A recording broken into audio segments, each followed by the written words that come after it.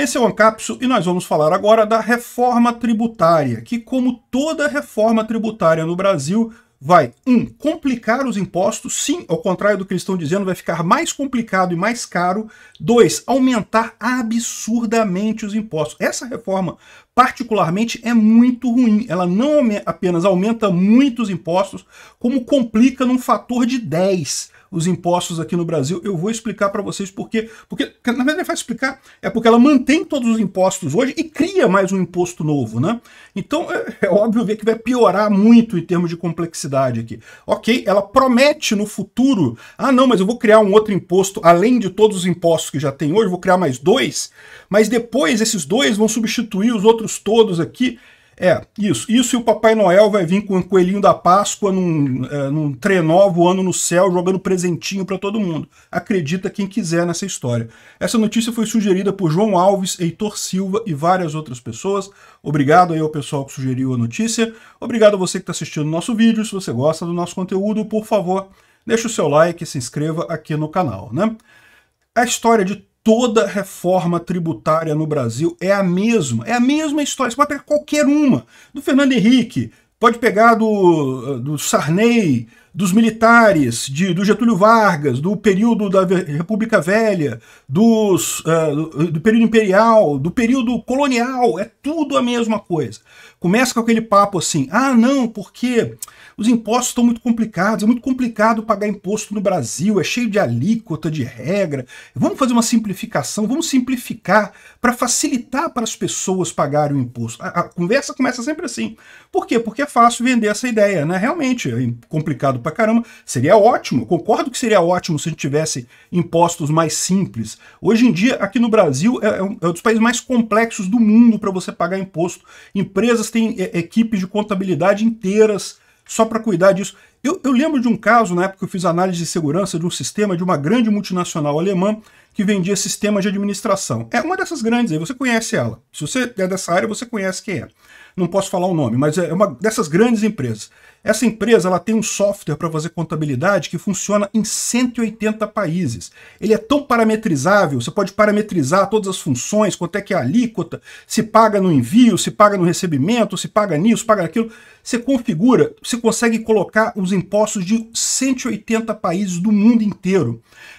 Um único país não consegue fazer isso nesse, nessa, nessa empresa, e daí essa empresa precisou criar uma equipe de desenvolvimento para fazer um módulo aqui no Brasil. É, bom, agora já entreguei qual é o país que não funciona. Né? No, no Brasil, eles precisaram fazer uma equipe aqui só para colocar as regras malucas que tem aqui, que é diferente de município para município, de estado para estado. Não apenas as regras tributárias no Brasil são insanamente mais complexas que no resto do mundo, como elas mudam o tempo todo. Mas aí que tá. Aí você fala, seria legal simplificar isso, né? Seria ótimo simplificar isso. O problema é que nunca acontece isso. Sempre o roteiro é o mesmo. O pessoal manda uma reforma tributária para o Congresso, aí chega essa reforma tributária, mesmo que ela seja, por, in, por incrível, assim, vamos supor, por, por princípio que ela seja uma boa reforma, que ela efetivamente vá simplificar os impostos. Vai simplificar os impostos, o que, que vai acontecer? O Estado A vai ganhar menos, o Estado B vai ganhar mais. Mas o estado B que vai ganhar mais, ele não vai se importar, ele vai ficar quieto. Né? O município B que está ganhando mais, ele não se importa. Agora, o estado que vai ganhar menos, aí ele chia. Aí os deputados lá vão mexer no negócio, vão botar um gatilho lá, vão botar uma amarração qualquer ali para o estado A não ganhar menos. Aí o que, que aconteceu? Já teve aumento da carga tributária aí, porque se o estado continuou ganhando a mesma coisa e, e o outro subiu, então já teve aumento da carga tributária no final das contas, né? A simplificação já foi para o saco porque teve amarração maluca lá do, do pessoal essa história de todas as reformas tributárias do Brasil, desde o Brasil colônia até hoje. É sempre a mesma coisa. Começa com um papo de que vai simplificar, no final das contas não simplifica porcaria nenhuma encarece os impostos, muita coisa. E essa reforma aqui é particularmente ruim. Por quê? Porque, um, ela vai aumentar para caralho os impostos. Não é, não é pouquinha coisa, não. Vai comer o teu cu vivo sem vaselina de aumento de imposto nessa parada. E além disso, ela complica para caralho. Pra você ter uma ideia, ela mantém todos os impostos que tem hoje e cria mais dois. E cria mais dois impostos. É, cheio de regras, cheio de complicação. Ok, a promessa que ela faz é que não, esses Ah, vai ficar esses impostos os velhos e os novos, aí a cada ano que passa o velho diminui um pouquinho, o novo aumenta um pouquinho, até que daqui a cinco anos vai estar tá só os dois impostos novos e os velhos vai tudo sumir. Primeiro problema dessa história, você pode ver que no mínimo durante esses cinco anos vai, ó, o desse, você tem uma equipe hoje de 100 pessoas para calcular a contabilidade da sua empresa, você multiplica isso por 200, porque vai ter que ter, vai ter que calcular o imposto velho, mais o imposto novo e ainda mais o, a regra de três que eles vão fazer maluca lá, né? E segundo, você acha mesmo que eles vão acabar com os impostos? Olha só, eu vou te dizer, vou contar para você como é que vai acontecer isso. Primeiro ano, tranquilo, legal, vai estar ali os imposto velho, imposto novo. Aí o segundo ano, quando começar a ter uma parcela maior do imposto vai começar a ter reclamação. Ah, porque o estado tal está recebendo menos? Ah, porque o município XYZ não conseguiu, está falindo porque essa, essa regra é muito ruim e não sei o que lá, e socorro, temos que parar, vamos, vamos suspender a implantação por enquanto, até o município se adequar a esse negócio. Aí algum deputado vai propor a suspensão naquele ponto. Então, né, o primeiro ano, ok. O primeiro ano não vai ter diferença porque é pouquinha coisa com imposto novo. O segundo ano já vai ter isso. Aí vão propor uma medida para preservar aquilo ali, igual, igual a lei de licitações. Né? Fizeram uma lei de licitação nova, muito melhor e coisa e tal, só que aí vai atrapalhar os municípios. Aí o que aconteceu? Suspenderam a lei, né? Lógico, pô, a lei é só para ferrar o cidadão, pô. A lei não pode ferrar o Estado. O Estado não gosta de ser ferrado por lei, só o cidadão que se ferra com lei. Aí suspenderam a lei de licitação e pronto, está suspensa. Só vai entrar em vigor, se entrar em vigor, em algum momento no futuro vão fazer a mesma coisa, vão suspender a, a, a reforma tributária, vão falar, não, vamos, congelar aqui com os, todos os impostos que você já paga hoje, mais os dois impostos novos que seriam para substituir os velhos, e com isso vai ficar, e vai ficar eternamente desse jeito, essa coisa complicada pra caramba, pagando muito mais caro no final das contas. Essa que vai ser a história dessa lei, né? Mas vamos ver, tem muito mais coisa pior aqui, né? Então eles já mandaram isso daqui, vão criar dois IVAs novos, dois impostos novos, e estão dizendo que vai ter um cashback para famílias de baixa renda, que pode ser que tenha, mas vai ser uma merreca pequenininha pelo próprio motivo, né? Você sabe, se for significativo, vai prejudicar o governo. Então eles não vão fazer significativo, vão fazer uma merrequinha de cashback no final das contas, né? E cashback vocês sabem, né? Sabe onde é que existe cashback de imposto no mundo? Exato, em lugar nenhum do mundo. Só vai ser aqui no Brasil, essa é a primeira experiência. Vamos ver se vai funcionar isso daí, né? Típica jabuticaba, só tem no Brasil, né? E você sabe como é que é o dito, né? Já, é, só tem no Brasil e não é jabuticaba, é uma besteira, né? Pois é. Aí eles estão jogando essa aqui de que o IP, vão fazer IPVA para jatinhos e iates e coisa e tal. Não temos que corrigir as, as, as indiferenças, porque quem tem jatinho não paga IPVA, quem tem iate não paga IPVA. E, sinceramente, acho irrelevante, eu não tenho jatinho, não tenho iate, então para mim não faz diferença nenhuma. Agora, uma coisa eu tenho certeza, isso aqui vai ser ridículo, não vai fazer nenhuma diferença no cômputo geral da coisa. Por quê? Porque no final das contas essas pessoas são muito ricas, elas vão botar os jatinhos no nome lá da, da empresa na Argentina, ou empresa no Paraná, ou empresa... no Paraná não pode, no Paraguai, ou em algum outro país do mundo e pronto, acabou, não vai ter que pagar imposto. Então é besteira isso aqui, não vai servir para nada no final das contas.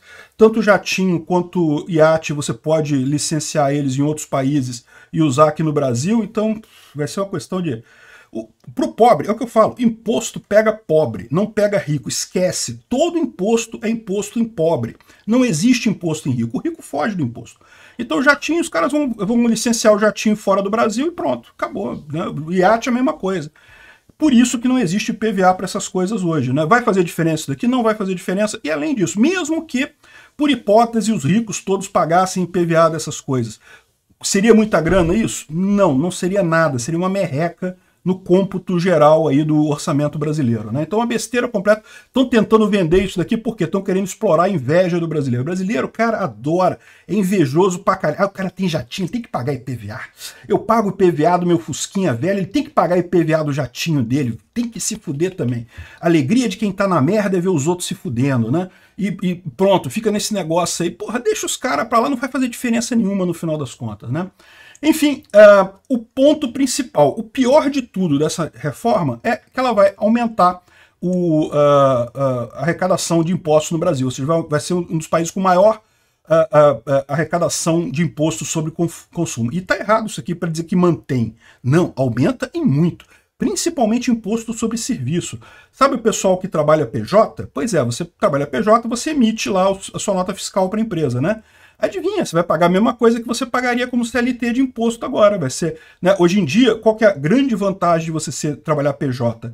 É que você paga em torno aí, dependendo do município, entre 15%, 18%, depende do caso. Aí. Eu já há um tempão que eu parei de trabalhar desse jeito, então não sei nem quanto é que tá. Mas é alguma coisa em torno assim, 15%. É melhor do que você pagar os 27% que você paga de imposto de renda e mais todas as outras tranqueiras da, CN, da CLT, né? Agora não, agora vai equalizar, vai ficar 25% também para o pessoal que, que, é, que, presta serviço. Ou seja, vai praticamente acabar com a, com a festa da galera PJ aqui. Então, assim, é, é, estão fazendo isso de propósito, lógico, né? Para ferrar, é o que o governo quer arrecadar mais de todo mundo, tirar dinheiro de todo mundo. Você que trabalha PJ já vai tomar uma trolha deste tamanho no dia que passar essa reforma. Mas não é só o aumento de imposto, não, tá? Aqui, essa coluna aqui do. É do pessoal do Terça Livre, isso. Não, ah, não, artigo do Luiz Felipe Orleans e Bragança, falando sobre os problemas disso daqui, né? O sistema do IVA ele é complexo, é, é mais complexo que o sistema atual. E lembra, no, na, na, transição vai ter as duas coisas. E existe a chance das duas coisas nunca saírem. Ficar essas duas coisas juntas durante muito tempo. Você sabe como é que é isso político no Brasil, no momento que um Estado começou a perder dinheiro, o que vai ter de choradeira de político lá em Brasília? Pra... Não, segura, para a transição no meio, vamos esperar, vamos dar mais uns 10 anos para os Estados se acostumarem com o novo imposto. Aí, ou seja, nunca mais muda esse troço, né? Para sempre vai ficar os impostos antigos você lembra da CPMF? Quando ela foi implementada lá atrás, a ideia dela era ser um imposto único. Eles falaram, não, vamos botar CPMF porque a ideia é que vai ser um imposto único, a gente vai cobrar só CPMF e vamos abrir mão de todos os outros impostos. Aí começaram, não, vamos fazer uma experiência primeiro, a gente bota a CPMF mais todos os outros impostos. O que, que acabou acontecendo? Ficou a CPMF mais todos os outros impostos e nunca mudou de jeito nenhum disso daí. É o que vai acontecer aqui, vão começar, não, vamos botar esse outro imposto aqui para substituir os outros e simplificar. Aí, ó, porcaria nenhuma. Né? Isso aí, meu amigo, é igual Papai Noel achar que governo vai facilitar as coisas para o seu lado, né? E o que ele fala aqui também é que a implementação depende de nova tecnologia, que é complicada isso daqui. Além disso, centraliza o comando da, tripula, da tributação no governo federal. Na verdade, essa centralização aqui, por isso que eles estão querendo fazer dois IVAs, eles vão fazer um IVA federal e um IVA estadual. Ou seja, vai ficar quase tão complexo quanto é hoje. Hoje em dia você tem três impostos, federal, estadual e municipal. Agora você vai ter dois impostos grande simplificação no final das contas, né? E mesmo assim vai prejudicar os municípios, porque quem vai arrecadar vai ser o Estado. Enfim, tá cheio de Estado por aí que arrecada e não repassa o valor para os municípios, né? E uh, eles falam aqui a questão de, de, no final das contas, de que a nova arrecadação não é, o novo IVA, ele não é cumulativo. Então as empresas podem descontar do, do IVA que elas vão pagar para o governo o IVA que elas pagaram nos insumos que elas usaram, né? O que eles esquecem de falar é que o ICMS já é assim, o ICMS também, teoricamente, ele não é cumulativo, você pode descontar. Mas o que, que acontece hoje? O Estado enche o saco, uma das coisas que os fiscais é, puxam lá que não, mas isso aqui, esse valor aqui não é, não pode ser lançado como insumo, isso aqui é despesa, não sei o que lá, então tem que jogar, tem que pagar imposto na entrada e na saída também. Adoram fazer isso. Então vamos fazer a mesma coisa com o IVA. Vai chegar a mesma coisa. Vou dizer, ah não, quando a empresa falar que ele usa aquilo como insumo, vai dizer que não é insumo, que é despesa da empresa e vai ter que, vai acumular do mesmo jeito no final das contas. Vai explodir o imposto com esse negócio justamente por ser cumulativo, né? ele dá mais aqui um monte de motivos aqui, coisa e tal. É, aqui, ó. Ele fala que fake news que o IVA é regressivo e cumulativo. Não tem, não. O, é, é, hoje em dia é já desse jeito, já é igualzinho desse jeito hoje, né? Utopia do cashback. Duvido esse negócio funcionar. Se funcionar, vai ser irrisório. Vai dar para, sei lá, o pessoal que tem Bolsa Família vai receber uns trocados aí e olhe lá. No final das contas, não vai mudar nada para ninguém, né? Enfim, é, é, um absurdo isso daqui, é o que eu falo, gente. É, é, reforma tributária, diga não. Não a reforma tributária. Os impostos, no momento que estão aqui no Brasil, são complexos pra caramba, são altos pra caramba. Deixa quieto. Tentar mexer só vai piorar. Não existe nenhuma chance de melhorar isso no Congresso no Brasil. Esquece. O, é, imposto no Brasil é isso que está aí e deixa quieto. É, reforma tributária, não em nenhuma situação. Obrigado por assistir o vídeo até o final. Além de curtir, compartilhar e se inscrever no canal, considere se tornar patrocinador com valores a partir de R$ 1,99. Clique no botão Seja Membro abaixo para saber as condições e vantagens de patrocinar o canal. Mais informações sobre o nosso projeto, visite nossos sites indicados na tela.